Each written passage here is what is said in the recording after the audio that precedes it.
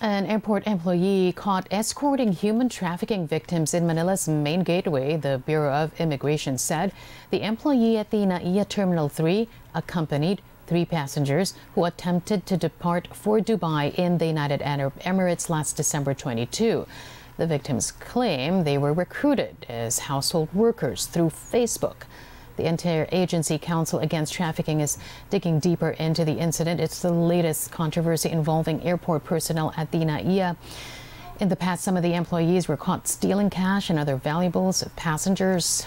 And we'll be speaking now with the spokesperson of the Bureau of Immigration, Dana Sandoval. Hey, Dana, Merry Christmas to you and thanks for joining us today. Hi, Karmina. Merry Christmas. All right. Well, it seems like it's not a Merry Christmas for that employee caught um, escorting mm -hmm. these three passengers. How long has this been? Uh, has this person been an employee at the airport? We actually don't have the details about the employee yet, but we have forwarded the case to the Interagency Council Against Trafficking. Mm -hmm. Since the NBI is part of the IACAT, um, the NBI will uh, investigate on this matter on uh, to know who this individual is, why is he escorting um, trafficking victims, and if he has done this before, or is this a, a business of his? Because during the interview with the victims, um, um, they recounted that they were recruited and they had to pay around, I think, 30,000 pesos for them to work as um, uh, household service workers abroad. Mm-hmm. And part of that package is the assistance um, in um, uh, passing through the airport. That's why we are um, worried that this might be a, business of this individual, or there might uh, be other individuals who might be attempting to do the same, mm-hmm. trying to. Uh, uh abuse the holiday season wherein there are a lot of travelers, legitimate travelers that are um, traveling abroad. Mm. Um, what about um, the victims, Dana? Were they? Was it their supposed to be their uh, their first time to leave the country for work, or are these? Uh, um, were they OFWs uh, to begin with that uh, you know ran out of luck and decided to come home, and now they're attempting again to work overseas? Dana, can you tell us more about the victims? Yes, they are first-time travelers. They initially claimed to be traveling to Thailand for a vacation, but um, careful scrutiny of their documents revealed that they are actually bound for um, the United Arab Emirates, where they were recruited um, to work as household service workers. They were um, um, promised um, a salary, I think, of, of um, I, I, an undisclosed amount, mm. but um, they were uh, made to depart as tourists instead of legitimate OFWs with overseas employment certificates from the Department of Migrant Workers. And back to the employee, I know that the IACAT is handling this, but what can you tell us about, you know, him being possibly a part of a bigger syndicate because he was just there escorting them out. They had to be, you know, they, there had to be someone to um, assist them to to go in. Um, yes. Recruitment is, is a different matter altogether. Do you believe that this person is part of a larger syndicate? It could be. It could be because recruiting an individual to work abroad is a big process. You would have to have um, connections here and abroad. That's why we want um, incidents like this to be thoroughly investigated. We're very thankful that the airport authorities have expressed their intent in looking into this matter. Um, the IACAT also um, have um, are, are, studying um, what cases can be filed against um, this individual or other individuals might be attempting to do the same. You know, the airport pass is a very special pass. Only um, select few has it. Only mm. those authorized personnel that can enter the airport are should be having it and should use it and should only use it for um, their daily duties. Um, things like this, wherein they abuse their air, their passes to escort um, trafficking victims, will not go unnoticed, will not go unpunished. Um, let's talk about uh, how it all went down, Dana. You said that upon further scrutiny, what appeared to be, you know, um, travelers going to uh, Thailand as tourists, um, after a while unveiled uh, the very dark side behind it, and that is they were being recruited, um, they were being trafficked. Um, so tell mm-hmm. us how it all went down. What gave the immigration um, officer sort of a, a, a red flag that this is not how it appeared to be? Well, during the primary inspection, there were a lot of red flags like inconsistent tickets. They were showing inconsistent tickets. And um, when they were asked about um, their traveling companion, they weren't able to answer very clearly who their traveling companion is because they don't really know who they're traveling with. They don't really know their tickets and everything because everything was just given to them prior to their flight. Mm. Um, in most cases, um, trafficking victims are just given their documents right before they check in. So they don't really have time to study what's in it or to know who they're traveling with.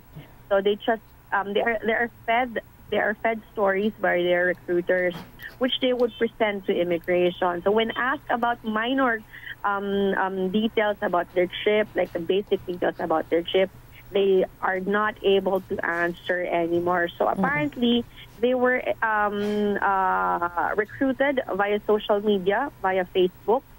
So someone um, um, uh, promised them a, a hefty salary um, with assistance um, uh, from from individuals here in the Philippines. And can you tell us more about the recruitment process? Yes, it was done through Facebook, but how long was the process like? Did they tell you anything about that? Did it last for two weeks, um, a month maybe, for them to, you know, this courtship period, for them to finally say yes to being recruited?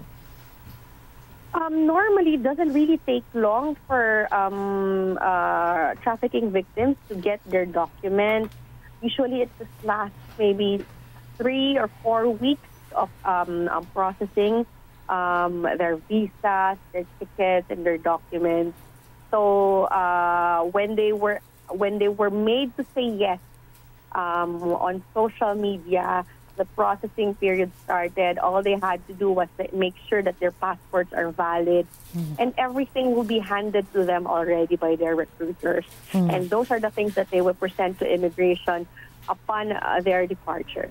Now, I know that this hit the headlines um, recently, but throughout the holiday season, Dana, can you tell us any number as to, you know, every single day, um, what does the BI, the Bureau of Immigration, um, face in terms of attempts of leaving the country, um, of trafficking people? Uh, it's an everyday thing, really.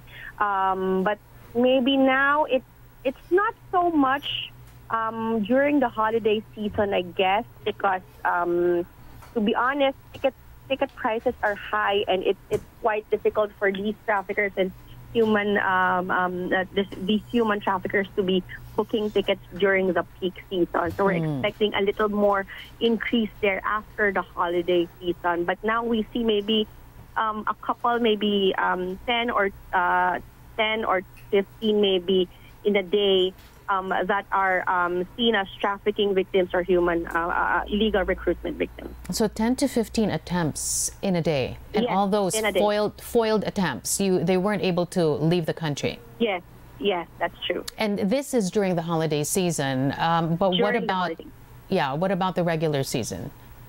Oh, the regular season in a shift, maybe we could see a 20 a day hmm. in a shift. Uh, I'm sorry, in per shift. So maybe around 60 in a day, we could see several attempts of uh, um, illegal recruitment victims, human trafficking victims, trying to go out of the country with um, spurious documents or pretending to be regular tourists. And if this, of this number, 60 a day, how many were assisted by airport employees or assisted from within the system, Dana? So far, we have not recorded any recent um, uh, escorting with regards to human trafficking um, victims, except for this one.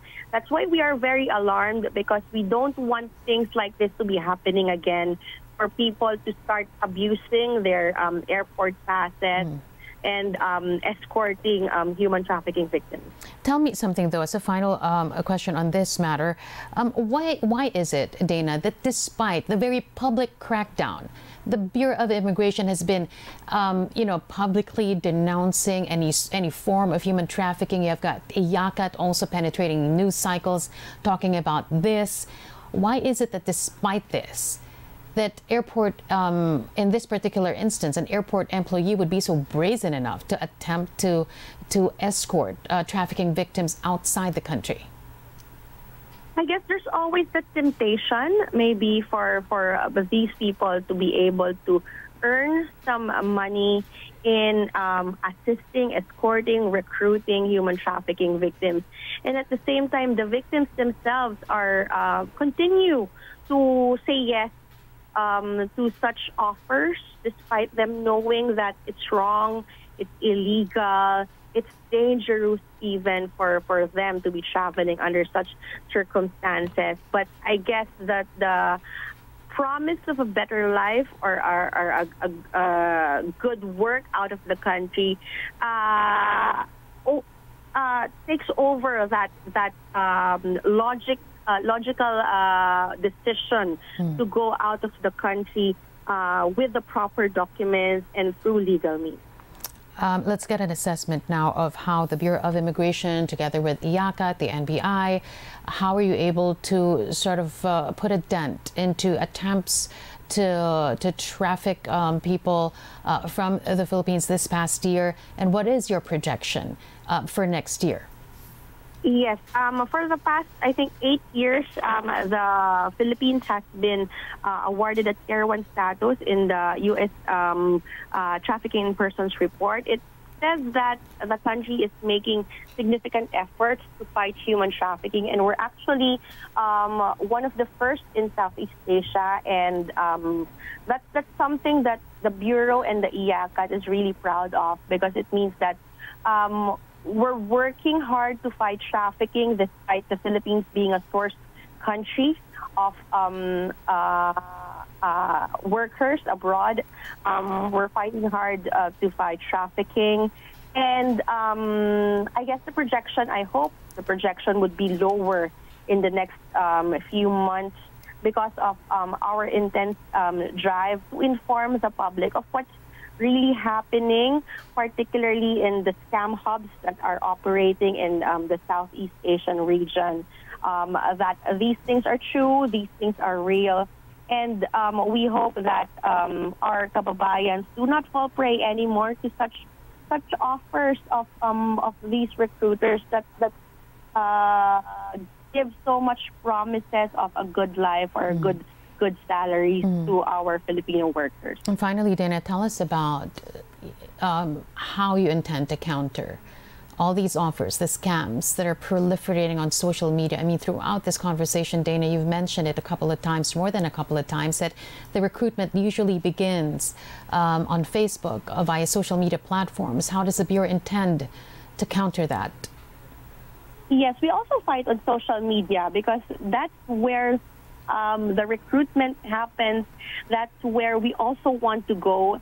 That's where we want to share all this information, all the stories of the repatriated victims, there were victims that um, were forced into prostitution. Recently, there were two victims um, from Malaysia that were forced into prostitution, mm. and they were also recruited via social media. So we want people to know what's happening, and we want these stories to be on social media for everyone to know what they are, uh, what they have to look out for, maybe, mm-hmm. and what um, what measures they can take to protect themselves and, and ensure that they are not um, victimized by um, these syndicates. All right, on that note, we're going to have to leave it at that. Dana Sandoval, there, spokesperson of the Bureau of Immigration. Happy holidays again to you, Dana, and the best of luck in the coming year. Thank you, and good afternoon.